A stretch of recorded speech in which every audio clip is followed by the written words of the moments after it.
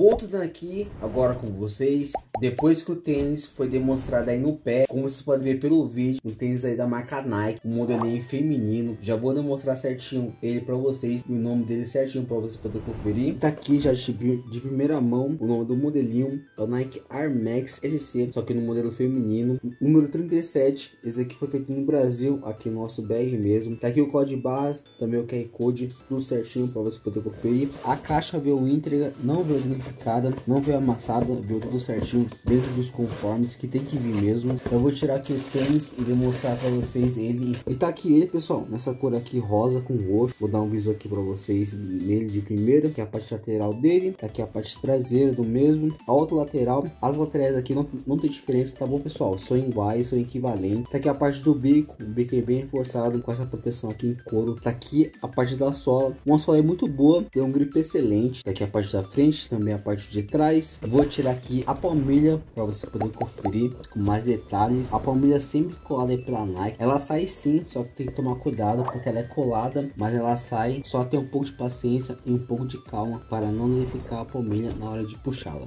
E tá aqui pessoal, a palmilha do tênis, pode ver aqui uma palmilha, na, uma palmilha na medida, não é tão grossa, mas também não é tão fina. Vem com o logo aqui da Nike, carimbado aqui na palmilha. A palmilha, como você pode ver, realmente é colada, mas ela sai, sai até os pelinhos que fica aqui na parte do fundo do tênis, mas a palmilha sai, é só ter um pouco de cuidado e paciência na hora de tirar, e essa palmilha sim é removível. Tá aqui a parte da língua do tênis, com a etiquetinha padrão da Nike, com mais informações sobre o tênis e também o QR Code, você pode conferir. Pessoal, esse foi o vídeo. O vídeo é bem objetivo para mostrar esse modelinho aqui no pé, como ele fica e mostrar para vocês mais detalhes sobre ele. Qualquer dúvida que vocês tenham em relação a ele, a estética, ao conforto, a durabilidade, se ele é confortável ou não, deixe nos comentários aqui embaixo que eu vou sim responder a todos e sim responder da melhor forma possível, sempre visando solucionar a dúvida de vocês que surgiu aí do outro lado, pessoal. Espero que vocês tenham gostado do vídeo. Até o próximo tênis e até o próximo vídeo, pessoal. Tchau, tchau.